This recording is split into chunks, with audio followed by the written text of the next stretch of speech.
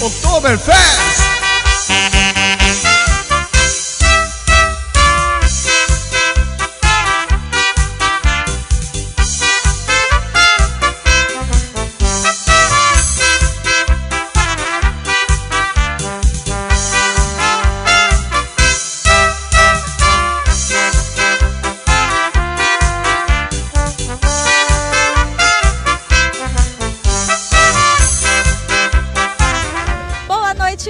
Flávia. Boa noite a você que acompanha o programa Invasão aí da sua casa.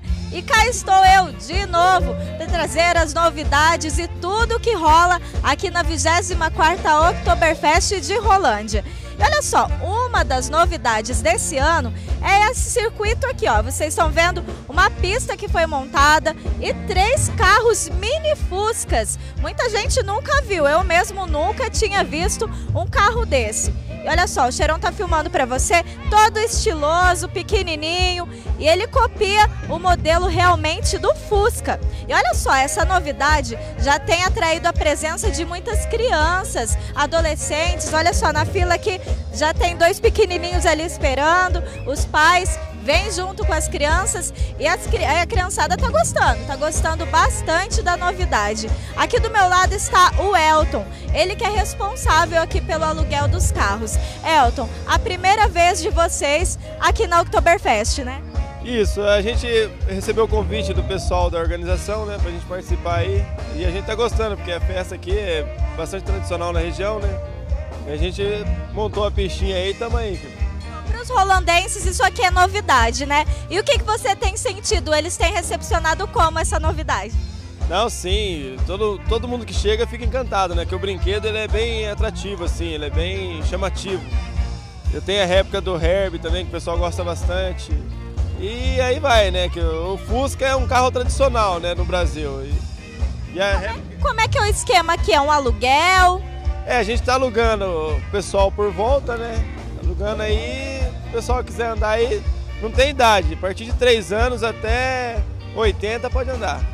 Elton, explica pra gente de onde vêm esses carros, como é que é feito, é uma fábrica, como é que é? Então, a gente somos de Londrina, a gente tá trabalhando já há 7 anos com esses carrinhos aí, só que no mercado nacional a gente tá há 5 anos já. Bom, e como é que dirige ele? Até a pessoa que não sabe dirigir consegue, no caso as crianças, né? Então, ele é um carrinho com marcha, mas ele não tem o sistema de embreagem. Embreagem é, é estilo da Bis, assim, é um motor parecido com o da Bis. É só acelerar e frear só. E esses carros, inclusive, são vendidos aqui na nossa região, é isso? Então, a gente, a gente vende pro Brasil inteiro. A gente tem o site, né? Vende pelo site. A gente já mandou para Manaus, pro Natal. Pra... Semana passada foi um para Maceió. Qual que é o valor de uma réplica dessa? Tá saindo hoje é, 9,300. Aí depende da região, a gente consegue um desconto pra, por causa do frete, né? Pra não ficar muito pesado também. As pessoas compram para utilizarem em condomínios, locais fechados, já que não pode circular na rua, né? É, ele não tem autorização pelo Detran por ser um veículo pequeno, né? Ele não tem uma capacidade para poder circular em via pública, né? Aí o pessoal compra chácara, condomínio, para parques, né? Aí fica a critério do cliente daí. Bom, e agora eu vou me arriscar. Será que eu consigo? Opa, só chegar até o monitor lá que ele explica certinho como é que é. Aí, mas é fácil. Então vamos ver, eu vou testar e depois eu vou dizer se eu aprovo, tá? Tá certo então. Vamos lá então.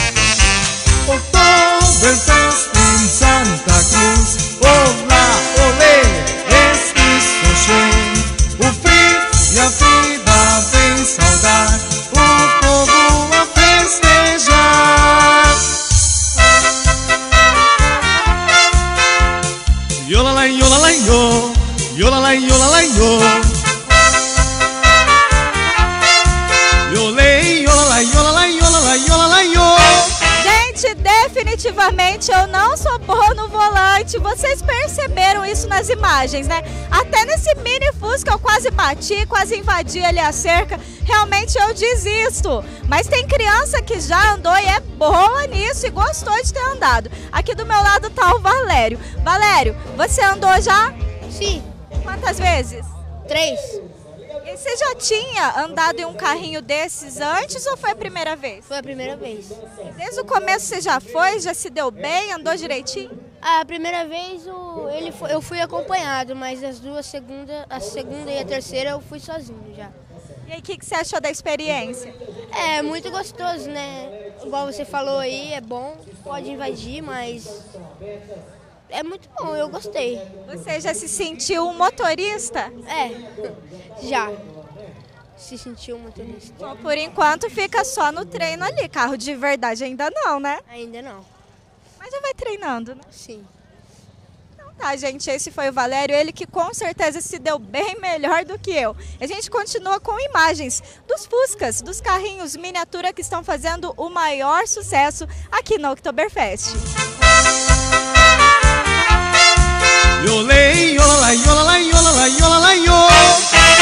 Ein Prosit, ein Prosit, der Gemüse.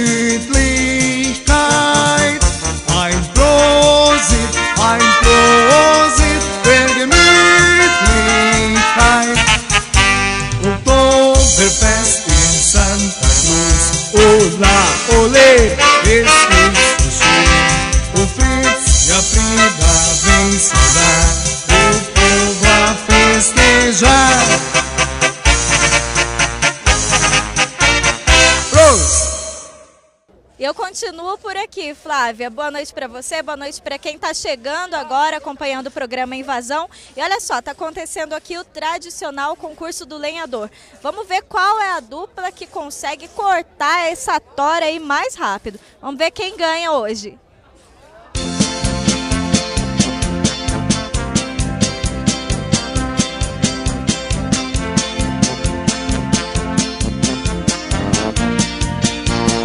É, vocês viram por aí que a disputa tá acirrada, né? Aqui do meu lado tá o João, ele que é o coordenador desse concurso há cinco anos. João, explica pra gente como é que funciona a disputa aí. Esse concurso do lenhador é o seguinte, tem que cortar aqui a madeira, né? Vamos chegar mais perto aqui. A prova consiste em você cortar a madeira até o fim, no menor, menor tempo. Tem que cortar do começo ao fim no menor tempo, né? E aí nós teremos a, a final que é sábado que vem, no próximo sábado, né? E as duplas é masculino e feminino. E o que competidor tem que ter para ganhar? É mais força, é mais habilidade, é mais rapidez? O que, que é? Normalmente é a técnica, né? É, o traçador você não pode empurrar, você só tem que puxar. Então tem que ter um sincronismo, né? Enquanto um puxa, o outro alivia a mão, né? E vai puxando assim. Porque se você empurrar, o traçador ele vai envergar e não vai serrar. E também não pode acalcar, senão não funciona, não serra. E qual madeira que é essa daí? Essa é a madeira eucalipto, né? Hoje é uma madeira que pode ser cortada, né? Então nós damos preferência sempre para a madeira eucalipto. Esse concurso do lenhador, ele tá também dentro da cultura alemã. Qual que é a participação disso? É, pelo que eu sei, assim, a nossa cidade, por exemplo, que é uma cidade alemã, né? E os alemães gostavam muito de serrar, era tradição, né? Naquela época não tinha motosserra, então era tradição serrar no, no traçador. E isso aí, para não perder essa tradição, então nós elaboramos o concurso do lenhador na Oktoberfest. Muitos participantes esse ano disputando aí o título. Hoje é a primeira, a primeira etapa que está acontecendo, mas é o, é o quinto ano que eu estou organizando e normalmente cada etapa acontece de ter até 20 participantes, 20 duplas, tanto masculino como feminina. Olha só que bacana. O vencedor, ele é o quê? Ele é o considerado o melhor lenhador da cidade? Como é que é o título dado a ele? É, ele é- o ganhador é o ganhou, simplesmente ele ganhou o concurso de lenhador, né? Ele foi o campeão do concurso de lenhador, né? E o interessante é que esse ano, né, é, vai ser o pro, pro ganhador vai ser 40 fichas de chopp do chopp da Brahma, né? Olha, então o prêmio é um prêmio que incentiva o pessoal a ganhar aqui, né? 40 fichas, é isso? Exatamente, são 40 fichas de chopp Brahma, né? E por isso que a final vai ser no sábado à noite, Que daí ele tem no sábado ainda à noite e o domingo o dia todo, né? pra- Vai ter dois dias para acabar com o prêmio dele. É, pode trazer a família, os amigos e festejar aqui na 24ª Oktoberfest. Para as mulheres é o mesmo prêmio ou é diferente? É o mesmo prêmio também, são 40 fichas para o masculino e 40 fichas para o feminino também. Aquele que é gente boa dá para dividir com todo mundo, né? Ah, com certeza, né? não pode perder a, perder a oportunidade né, de confraternizar, né? Então a gente continua acompanhando essa disputa aí ao decorrer da semana, né? Com certeza. Então nós teremos hoje, né? a- e teremos também amanhã, terça-feira e quarta-feira.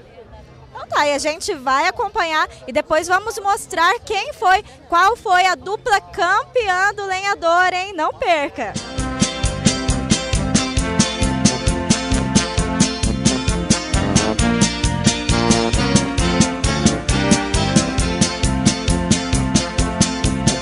Olha, e tem uma dupla que já está a postos aqui, eles que vão participar daqui a pouquinho, mas antes eles vão falar com a gente. Bom, vocês têm a técnica já, já sabem o que fazer para ganhar aí o concurso? A gente estava combinando aqui. A ideia é não empurrar a, a serra e tentar usar o máximo possível dela. E como é que vocês sabem dessas técnicas? Alguém que, que falou? Como é que é? Nossos amigos do Shopping Metro ali, ó, deram as dicas pra gente. Vocês estão confiantes para ganhar o prêmio, que é um prêmio que incentiva bastante, né? Ah, pelo prêmio a gente tá legalzinho assim, sabe? Um barril de chopp, né, Henrique? Então, aí a serra, vamos tentar ver. Vamos ver o que a gente pode fazer aí. Então tá bom, a gente vai ficar acompanhando. Quero ver vocês saírem bem por aí, hein? Vambora, Alexandre! Bora! Estão animados, pelo menos isso. Vamos lá, gente. Vamos ver o que, que vocês conseguem aí.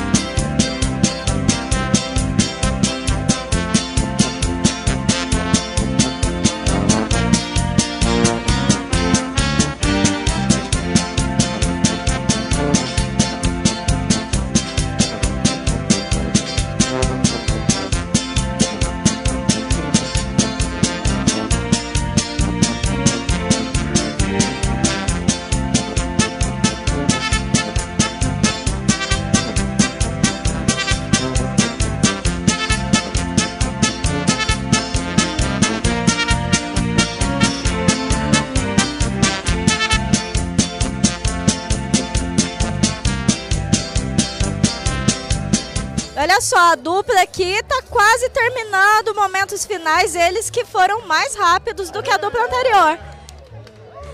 E aí, aí, como é que foi? Foi fácil, foi difícil? Então, no final deu uma, deu uma pegadinha ali, mas foi divertido. Estão confiantes que fizeram o melhor tempo? Acho que até agora sim. Acho que foi, hein? Acho que vocês estão bem. Deu pra cansar? Dá, deu. Deu pra cansar um pouquinho. E aí, como é que foi o tempo deles? É, o tempo dele foi o segundo melhor tempo de hoje, por enquanto, né? Cerraram em 1 minuto 41,81. E qual que é a chance, então, deles seguirem pra final? Olha, acho que hoje já não tem mais chance, né? Que já teve uma dupla que cerrou melhor.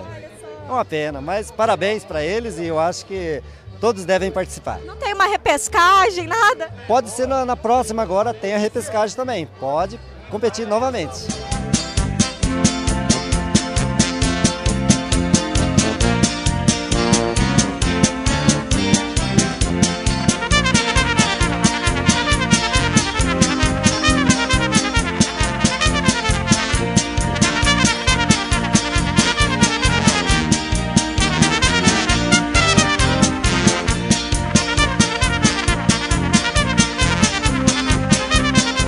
Teve a dupla que a gente entrevistou primeiro ali, só que o melhor tempo não foi deles, os campeões da noite estão aqui. É o pastor Diego e o seu companheiro, como é seu nome? O Marcelo, que veio do Rio Grande do Sul, é isso? Isso, do Rio Grande do Sul. Conheço o Oktober de Igrejinha, de Santa Cruz do Sul, de Blumenau e agora conhecendo aqui de Rolândia. Olha que bacana aqui que você tá achando por enquanto. Muito bom também, com boa, boa, boa gastronomia, boa bebida, pessoal muito alegre, boa música, boa companhia.